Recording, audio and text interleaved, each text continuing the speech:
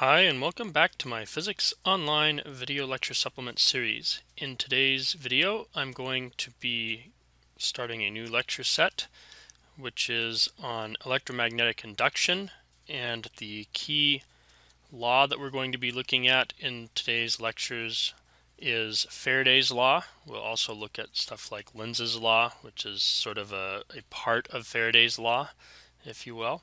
The basic idea behind this set of lectures is that we've so far talked about how charges which are in motion, that is a current, will produce a magnetic field. Well, the point of today's lecture then is sort of the opposite. A magnetic field can be used to induce a current. And basically this is a sort of symmetry, which is uh, a principle that appears throughout nature.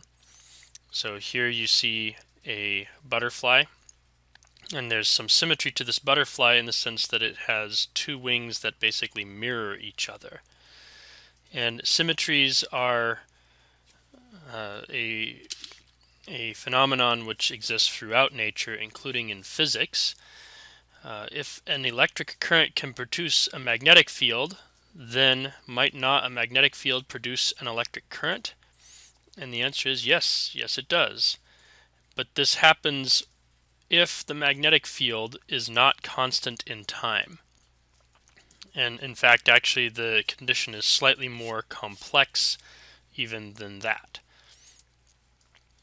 So in today's part of the lecture, I wanted to talk about Faraday's law. And basically that's a law that's going to govern how a changing magnetic field will induce a current. And as we're going to find out, it's not a changing magnetic field per se, it's a changing flux from a magnetic field. So this law is named after Michael Faraday, who is the first person to uh, demonstrate and record that a changing magnetic field can induce a current.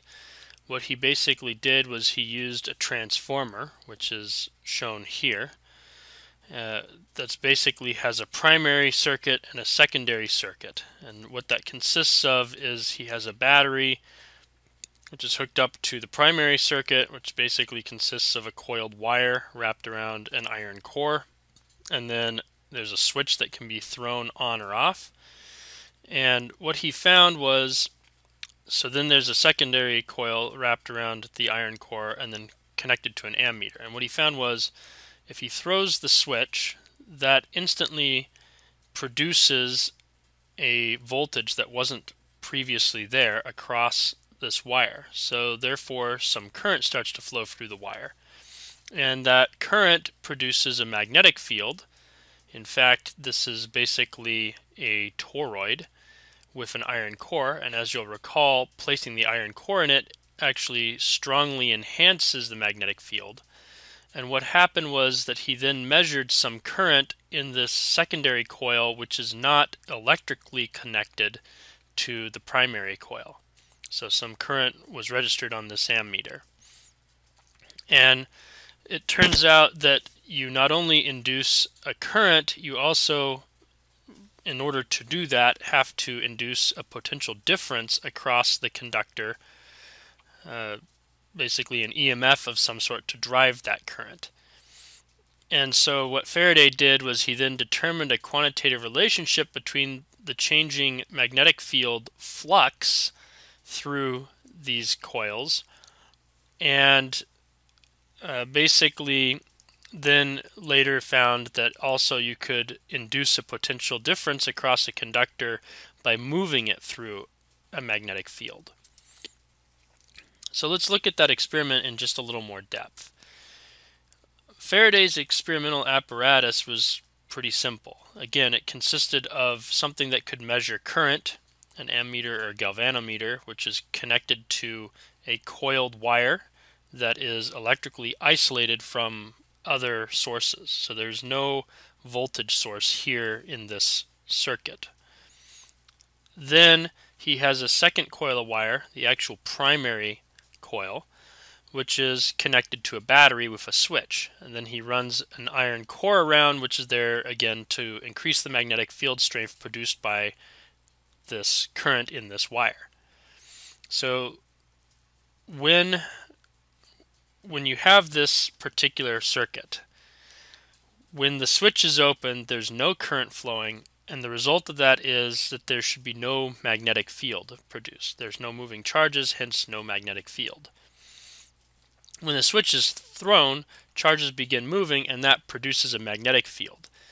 And as you know, the magnetic field is, yes, inside of these coils, but because these coils are more nearly a solenoid than a toroid, since they're not really wrapped all the way around this uh, iron core, the result is that there will be some magnetic field lines that loop around like this, or that loop around like this, as the case may be.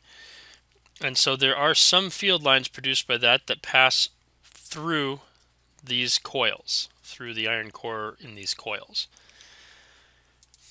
The secondary coil, again, is not connected to a battery or e any other EMF force uh, source. But what happens is that when the switch is thrown, the galvanometer deflects momentarily. So it registers some current if the switch is open and closed suddenly.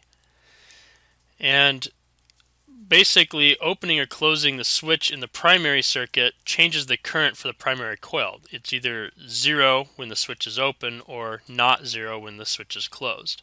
And hence you have the magnetic field changing in both sets of coils. So what this does is when the switch is opened, the magnetic field has to be reduced, and what happens is the galvanometer actually starts reading a positive current. When the switch is first closed, the magnetic field increases and the galvanometer starts reading a negative current, which basically means that the current has reversed directions and hence any magnetic field in produced by this coil will also have reversed directions. And the conclusion that he drew with this is that by changing the magnetic field, he has induced an EMF and hence a current in the secondary coil. Faraday's experiment basically used a single battery and a switch, which basically means he had a DC source, but you could also imagine removing the switch and just having this wire connected but hooked up to an AC source. And what would happen therefore is that the current would be changing within this wire according to the equation that I introduced in a previous lecture for the alternating current, namely current equals some maximum current times the sine of some angular frequency times time. So that would also produce a changing current, hence a changing magnetic field, and then you'd actually get some induced current over here with interesting changes in this galvanometer reading throughout. There is, in fact, another method for, for inducing current in a magnetic field, and this one actually does not require the use of any battery or voltage source, AC source, anything like that. Basically, what happens is you put a loop of wire like this into a magnetic field. And this loop of wire is connected to a pair of little ringlets, and the ringlets are then connected to a pair of carbon brushes, which then connect to a galvanometer. So basically, each ring is connected only to one end of the wire. It's not touching the other end of the wire. And the use of the ring is that as you rotate this thing, this ring is always in contact with the carbon brush, this ring is always in contact with this carbon brush, and hence you'll always get current uh, if there is any to measure. So you insert this ring into a magnetic field. This is like a pair of bar magnets, for example. North pole, south pole for a pair of bar magnets. And this coil is in the magnetic field, and you rotate the coil by mechanical means. And so what that does is that at some points the field is perpendicular to the area enclosed by this coil. At some points the field is parallel to the area enclosed by this coil. And most of the time it's somewhere in between. And as you rotate this thing in the coil, you produce a measurable alternating current. This, by the way, we'll talk about later, is the basis for making an AC generator. We've talked about DC motors previously. That is to convert from having current or basically electrical energy into something that can do mechanical work. A generator does the opposite. It goes from having mechanical work to producing electrical energy. So what is it that's actually changing in the case of this second method of producing a current? The magnetic field is basically uniform and constant here. Uh, the, the externally produced magnetic field is not changing in time, it's not changing in space, so it's not a change in the magnetic field per se that is causing this induced current. Instead, what happens is that the magnetic flux through the loop is actually changing. You know, recall that in general, flux is given by whatever the vector field is dotted with the area of, of interest. So in this case, you have a magnetic field, B, and the area is the area enclosed by the loop. So you could imagine these four sides as being the wires making up the loop. And so the area is whatever the area that is enclosed by those four sides is. And so the flux is B dot A, and is basically B times A times cosine of theta, where theta is the angle between the area vector and the magnetic field vector. Recall again that the area vector is perpendicular to the plane in which the actual area is contained. And this has basically the exact same form as the electric field flux that we found earlier. I mentioned in my previous set of lectures that the SI unit for magnetic field flux is the Weber. Uh, one Weber is a Tesla meter squared. So that is magnetic flux in a nutshell. Now let's think of the magnetic field lines uh, and the flux produced here. Uh, recall when we talked about electric field lines that you could visualize what the flux from an electric field is by looking at how many lines puncture through or penetrate through the surface. And if they are going one way through the surface, they count as positive, and if they go the other way through the surface, they count as negative. So the flux is the same for magnetic fields in that it's proportional to the number of magnetic field lines that uh, pass through the surface. So looking at this right here, you can see if the surface is perpendicular to the field lines for a given area, it's going to have the maximum number of field lines that pass through it. When it's parallel to the surface, there will be zero field lines passing through it. And so that basically means that the area vector here would be pointing straight up or straight down whichever may be the case, is perpendicular to the field lines. In this case, it's pointing this way or pointing this way, it's parallel to the field lines. And it's worth noting, in addition to all this, that if we added some more loops, that would be like adding a few more surfaces in here and so if you have n identical loops, then the area is multiplied by n. So if this thing has an area A, then n of this thing has an area of n times A. And so hence the flux will have increased by a multiple of n. In this case it increases from 0 to 0 times n, so still 0. In this case it is b times a, where b is the magnetic field strength, a is the area of the loop times N. And that's also true for flux with electric fields, but here we're more concerned about magnetic flux. So Faraday's law actually gives the induced EMF as a as a function of the number of coils in the loop and of the change in flux per unit time. So the average induced EMF would be negative N, that's number of loops in the coil, times the change in magnetic field flux per unit time. So this would be change in the product of B times A times cosine of theta per unit time.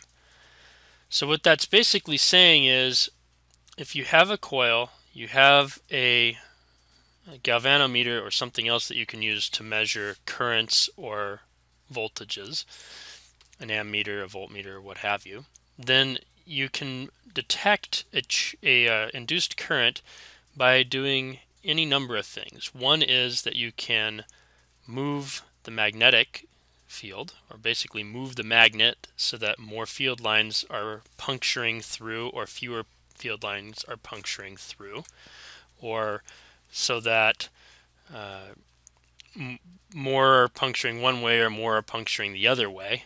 And any of those will be a change in flux per unit time, and so you'll induce a current.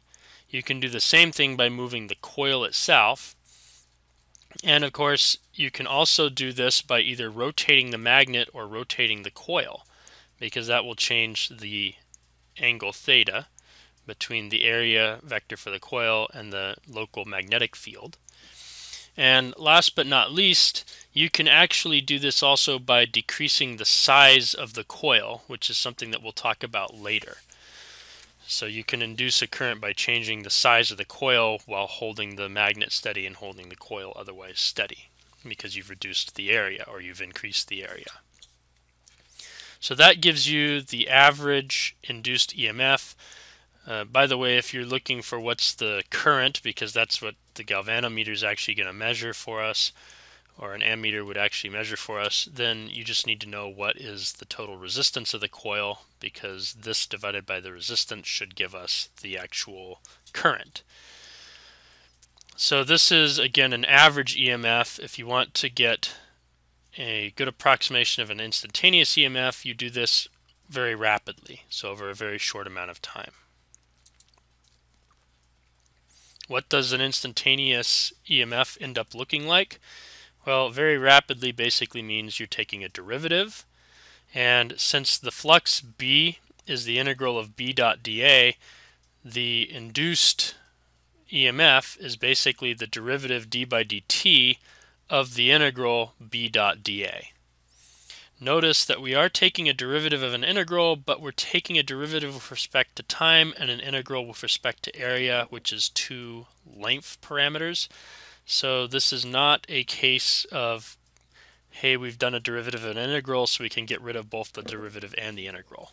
You're integrating with respect to something other than what you're differentiating with respect to. So you have to do both of these steps in the event that you actually need to do an integral to find the flux, which would be the case, incidentally, on the uh, these images because you don't have a constant magnetic field across the entire area.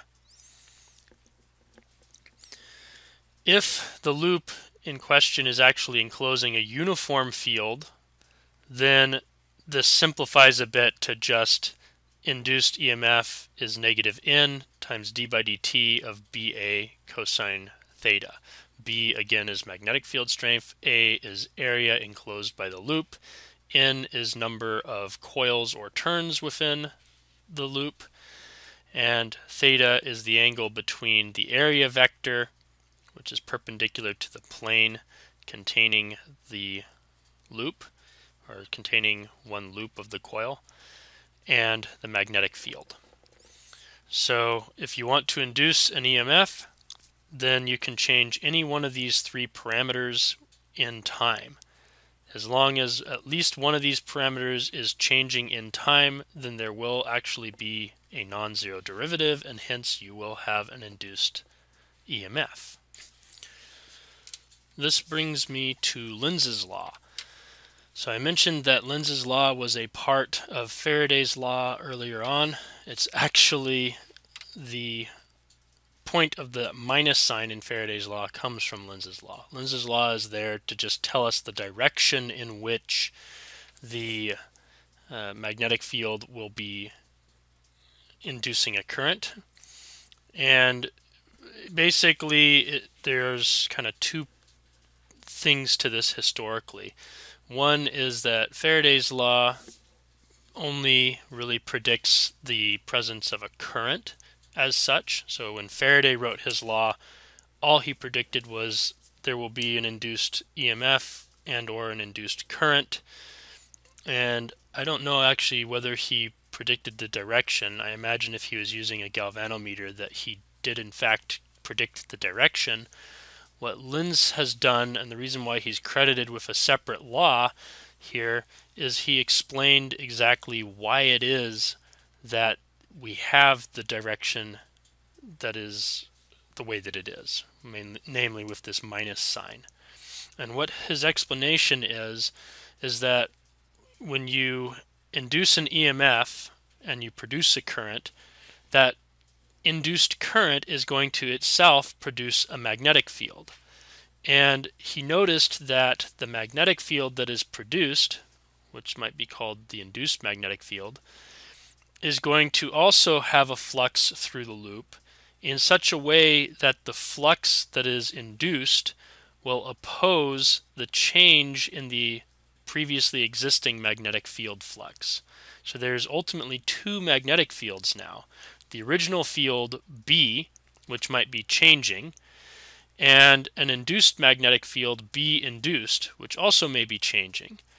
And these two fields may be in the same direction or they may be in opposite directions, but the thing that determines the direction of the induced field is that it also has a flux through the loop, and that flux should be in the opposite direction as the change in flux of the original field.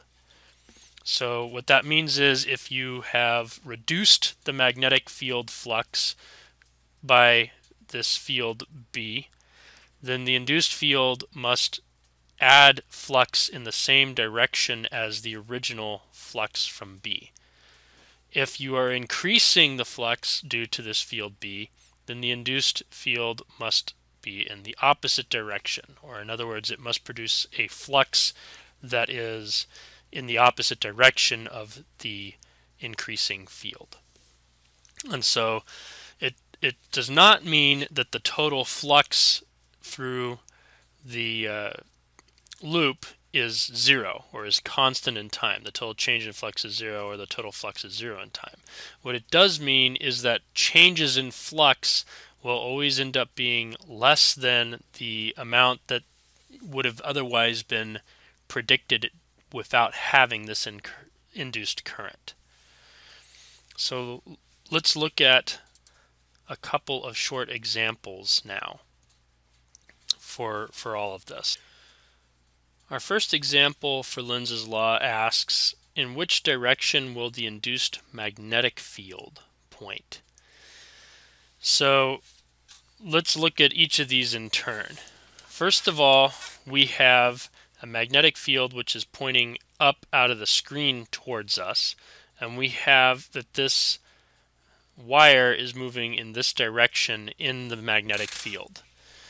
Now, you may be thinking, okay, I, I don't know what direction this uh, induced field should be uh, based just on this, but notice that as this thing moves, the field lines are getting farther apart. That means that the field is getting weaker, and hence the induced magnetic field needs to be pointing out of the screen at us as well. So B induced is going to be like this. And that is because our uh, flux would be getting weaker as this loop travels through this field. And, and it is getting weaker because there are fewer field lines passing through it if it comes to over here. So if I draw the same loop over here, same size of loop, roughly. Here you see one, two, three, four, five, six. Here, one, two, you know, another half, maybe another half, something like two or three actual whole field lines through it. So that means that the flux has decreased, and so the induced flux needs to be in the same direction as this initial flux is, because the, the induced flux is has to oppose this change in flux. Okay, in the second case, the loop is actually moving parallel to the field. And what that means is that the flux initially is zero and it's finally zero, and so there is no induced field. So B induced is equal to zero. In this third case, you have that the north pole is this way. So the flux actually is, I guess you could say, positive through this field. And we're moving this magnet in this direction. That means that more field lines are ultimately going to be passing through the magnet because, again, there's also a field line like this there's also a field line like this, and so on. So these field lines initially are not moving through this magnet. As the magnet moves this way, more field lines are going to be passing through this loop. So that implies that the flux is actually increasing. And so to counter that, the induced magnetic field would basically be in this direction. B induced. Because it wants to resist that change in magnetic flux. Second set of examples asks in which direction is the current going to be induced. So again, worth drawing in here what way are the induced magnetic fields going to be. So this is B induced and this is B induced. So the question here is basically what direction would you need to have a current moving around the loop in order to get the field to be in this direction. So here is our loop, here is our induced field, and what we do is we use the right hand rule. And the right hand rule basically says point your thumb in the direction of the induced magnetic field line, and now your fingers will curl around in the direction that the current should be moving in. So the current is actually going to be like this. So that's I induced. Over here, the basic thing is that the field is in this direction, so you need to point your thumb in this direction and wrap your fingers around to get the direction in which the current will be induced. So the current is basically running around like this. So there's I induced. Here again, the induced field is zero, and therefore the induced current is also zero. One useful application of Faraday's law is what's called the ground fault interrupter, sometimes abbreviated GFI. And it's basically an electrical safety device which is there to prevent you from shocking yourself if you're using something electric, like a hair dryer, for example, or um, what have you, nearby a plumbing fixture. So you you especially see these either placed in or even built into the wall in bathrooms where you might hook up a, a blow dryer or a curler or what have you to an outlet that's right next to a sink. And how it works is that you have two wires from the ground fault interrupter and they're carrying currents of equal magnitude but in opposite direction. So here is your setup. Here's wire 1, here's wire 2. And therefore, because these two currents are in opposite direction, the magnetic field that's been produced by these two currents is basically going to be in opposite directions, and hence there's effectively zero magnetic field running through this coil there's the iron ring surrounding the coil, which is there again to enhance the magnetic field. Of course, if it's zero, then it's still zero. Um, now, if an appliance short circuits, what that means is that there's no longer a return current. So basically, this uh, incoming current goes through the appliance, then it comes back this way. If the appliance short circuits, that means there's no current coming back this way, only a current going this way. And if that happens, then essentially you're going to be shocking yourself by holding on to that appliance. But because of this GFI, the lack of this return current means that suddenly there is a non-zero field moving through these sensing coils. And so that induces a an EMF, it induces some current, and the result of that is that it trips the circuit breaker, which cuts off the electrical supply to the device that you're holding, thereby hopefully preventing you from electrocuting yourself, especially if you're sort of standing over a sink or that kind of thing and there's water nearby to contribute some extra current some extra electrons for current for you. So here's a basic illustration of what that might look like. You have a ground fault interrupter which plugs into your wall outlet.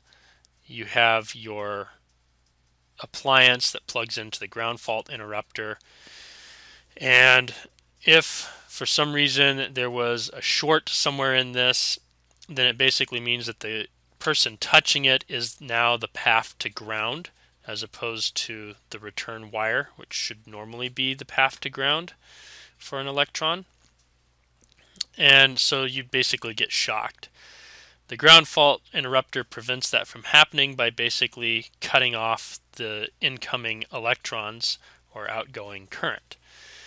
And you see these, you can buy them if you want to plug it into a normal wall outlet, but if you have if you go to a hotel or even some apartment houses, that kind of thing, you might see, especially in the bathrooms, that the wall outlets look something like this.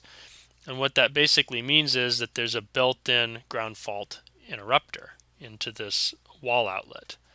We've already seen that a changing magnetic field flux induces an EMF and a current in a closed loop. If you're going to induce a current, the implication is that you have some electric field to drive that current. The other implication, by the way, is EMF, recall, is a voltage drop. And recall that electric field magnitude is given by change in voltage or voltage drop over change in x. In other words, voltage drop per unit length. So both of those cases give an implication, which is that a changing magnetic field flux is going to induce an electric field within your loop. And Faraday's law, therefore, can be given a more general form, namely that the induced EMF is given by the line integral E dot dl around the loop, and of course is also equal to negative d phi dt times n if you have n windings on this loop. And so the general form of Faraday's law is that the line integral E dot dl is in fact equal to negative of the derivative of the magnetic field flux with respect to time. It's worth stating here also that this induced electric field is not necessarily a conservative field. That's contrary to a normally produced static electric field. Normally, a static electric field, if you move an object from one point in the field to another point in the field and then move back, the net amount of work that you do is zero.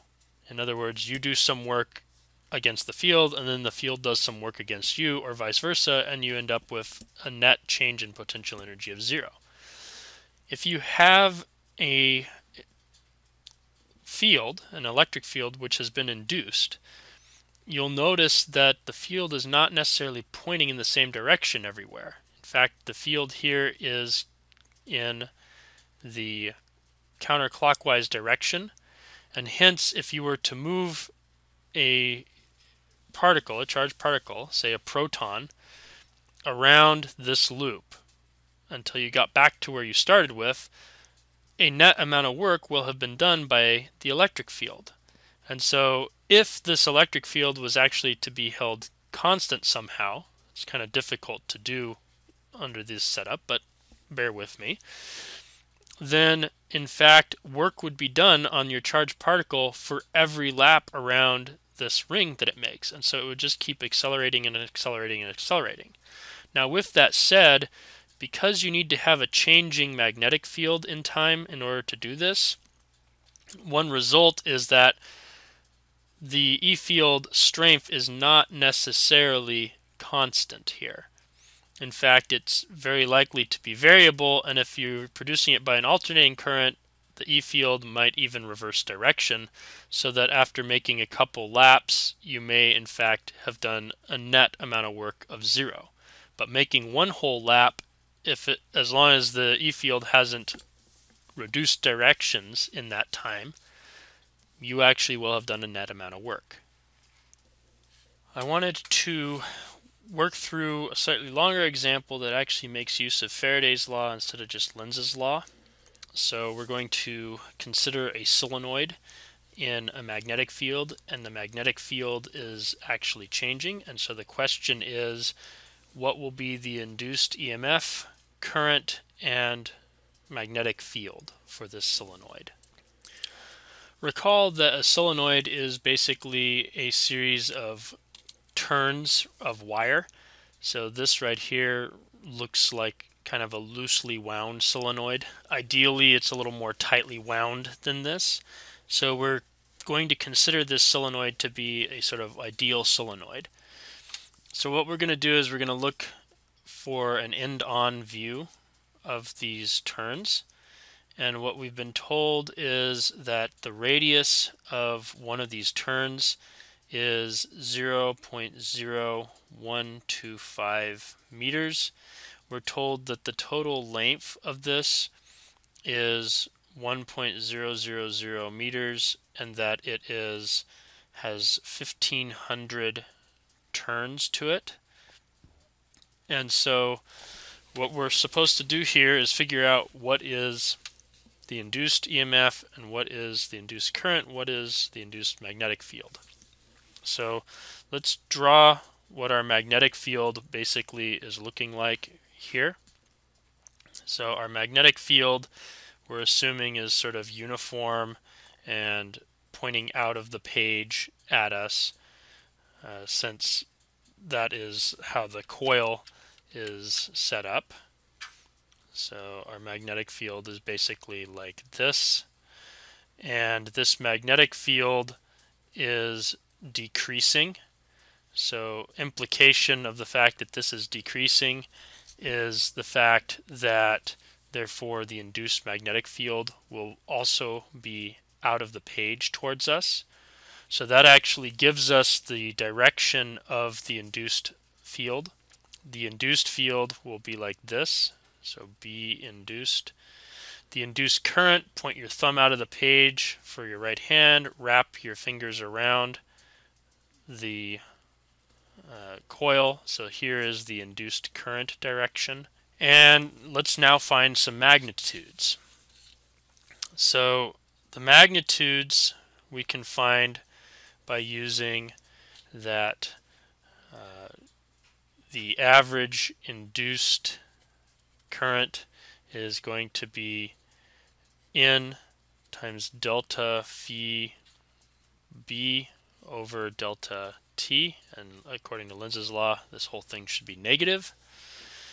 And in fact, since we have a, a constant rate at which the magnetic field is going to be uh, changed, this average is also equal to the instantaneously induced uh, potential or EMF.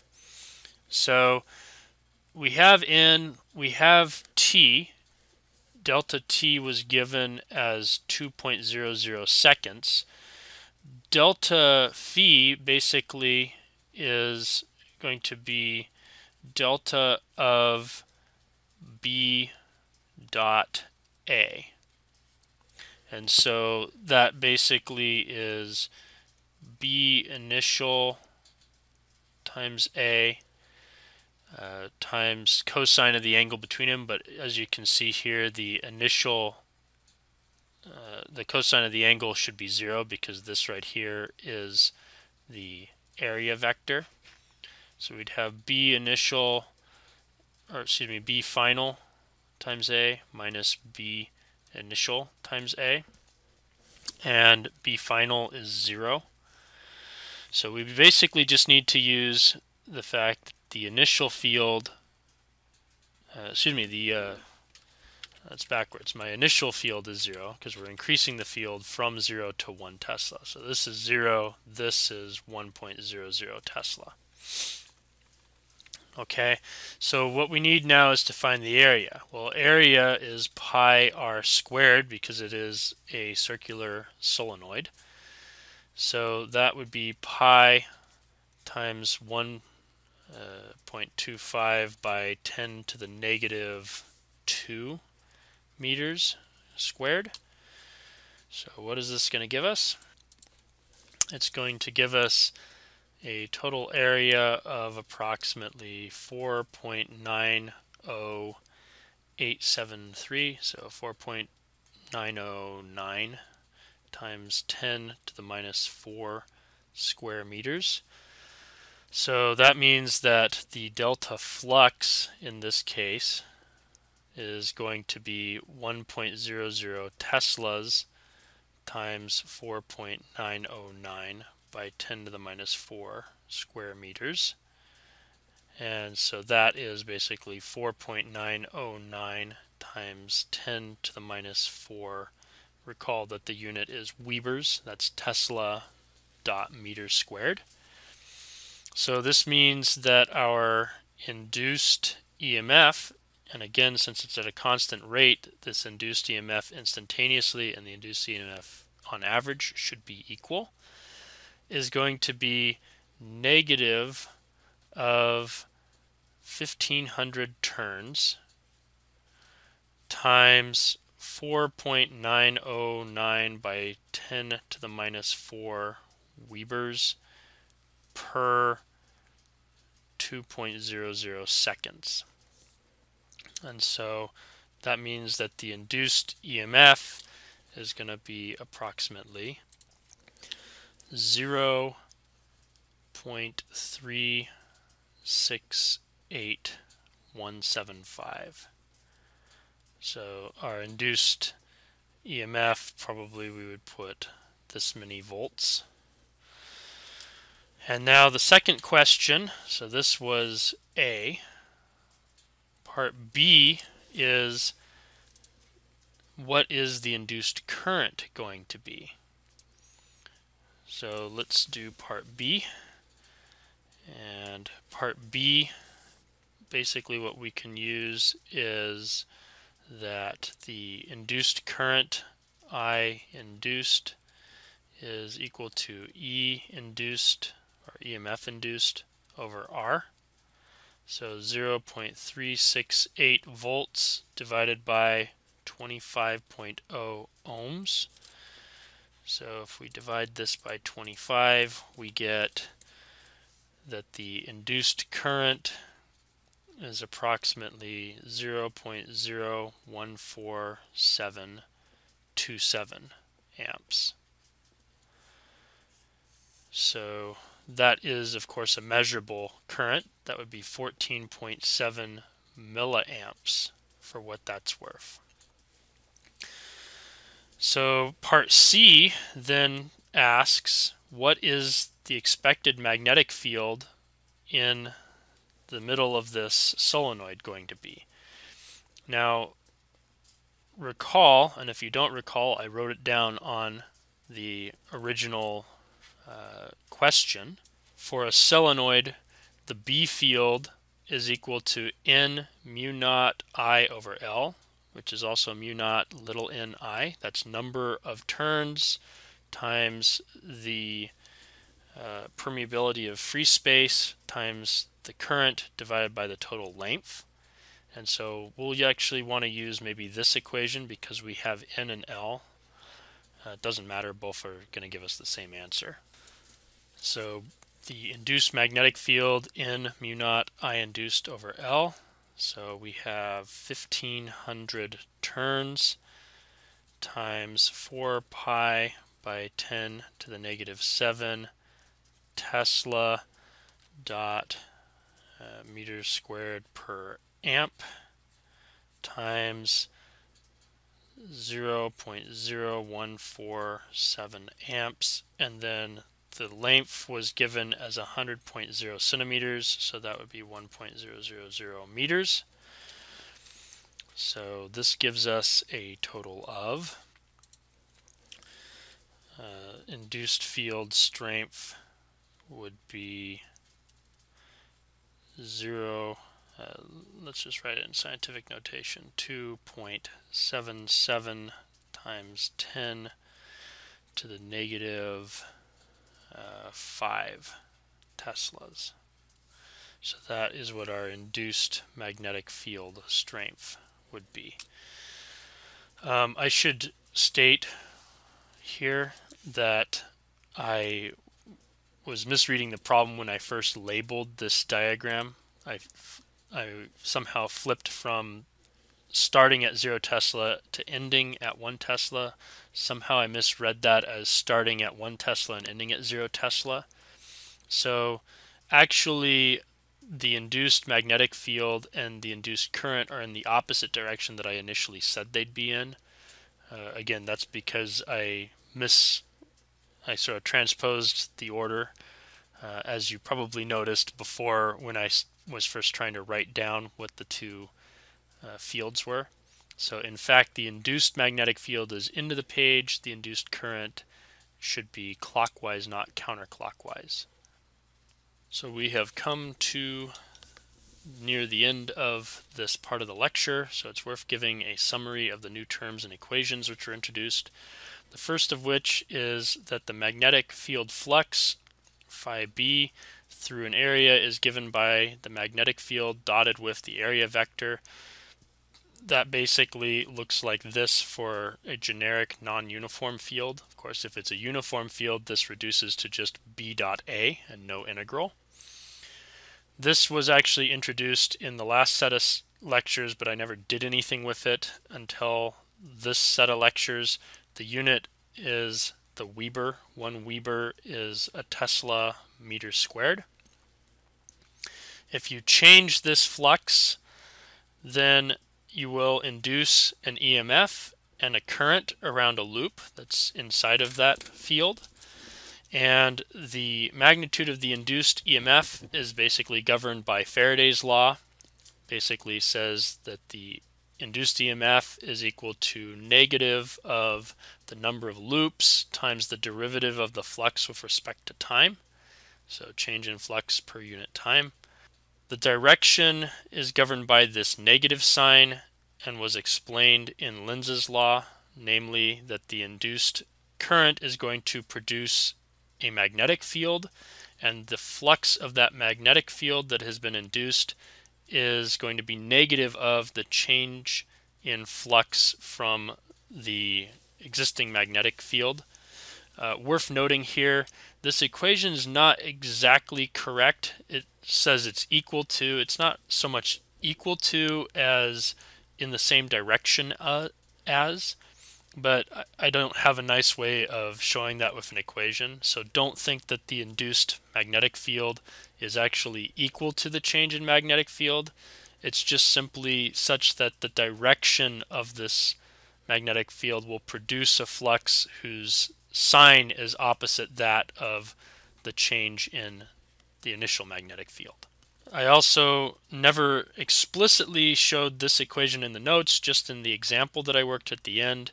The induced current is given by the induced EMF divided by the resistance of the total uh, coil of wire through which that current is being induced. Last but not least, a changing magnetic field flux also induces an electric field. So Faraday's law can in fact be written in this form. The line integral of the induced electric field dotted with dl is equal to negative of the number of loops around which this is happening times the derivative with respect to time of the flux for magnetic field.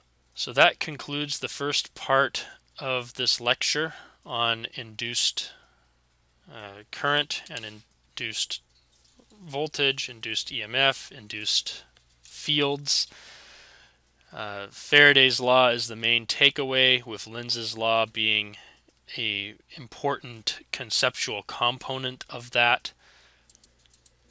In the next part of this lecture, we're going to look at motional EMF and we're going to look at some applications of EMF, uh, excuse me, of induced EMF and of really of Faraday's law.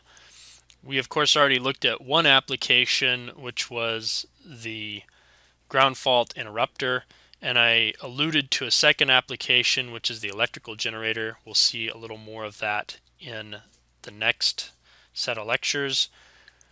So I hope you found this uh, video helpful. Thanks for watching.